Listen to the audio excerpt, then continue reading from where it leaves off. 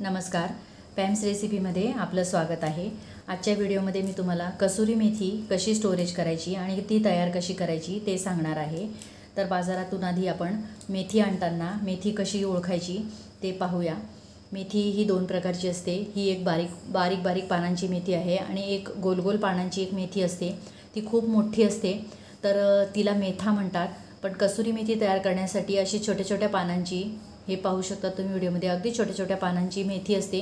ती जर मिळाली तर ती घेऊन यायची आणि तिचे फक्त आपल्याला पानं पानं असे निवडून घ्यायचे आहेत. निवडल्यानंतर ती स ही सगळी मेथी स स्वच्छ धुवून घ्यायची आहे. धुतल्यानंतर तिला एका कोरड्या फ कपड्याने चांगली पुसायची आहे. पुसल्यानंतर अशा रुमालावर तिला पसरवायची आहे पंख्याखाली आणि पंख्याखाली पसरवून तिला दोन तीन दिवस वाळवायची आहे.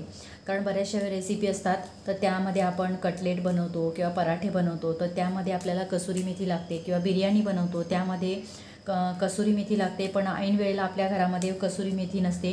तर वर्षभरासाठी थंडीच्या दिवसामध्ये मेथी खूप चांगली येते बाजारामध्ये. त्यावेळेला बाजारामध्ये जर अशी छोट्या छोट्या पानांची मेथी जर मिळाली तर ती ती घ्यायची आहे आणि ती आपण वाळवायची आहे पानं पानं काढून.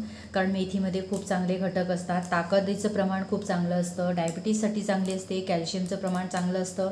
त्यानंतर मेथी ही आपल्याला गुडघ्यांसाठी खूप चांगली असते. म्हणून बऱ्याचशा रेसिपीमध्ये आपण ही कसुरी मेथी वापरायची आहे आणि त्यामुळे आपले पदार्थ खूप टेस्टी होतात चविष्ट होतात आणि आपल्या रेसिपींना एक वेगळ्या प्रकारची चव येते.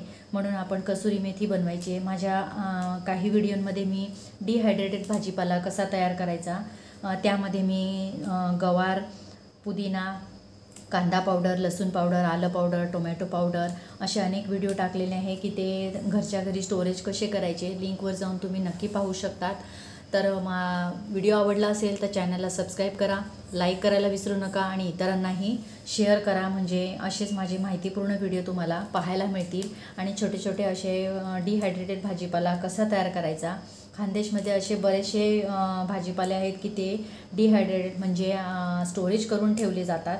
तर ते कसे केले जातात ते माझ्या व्हिडिओमध्ये पाहण्यासाठी चॅनलला सबस्क्राईब करा. व्हिडिओ आवडला तर लाईक करा आणि कसुरी मेथी घरच्या घरी नक्की बनवून पहा.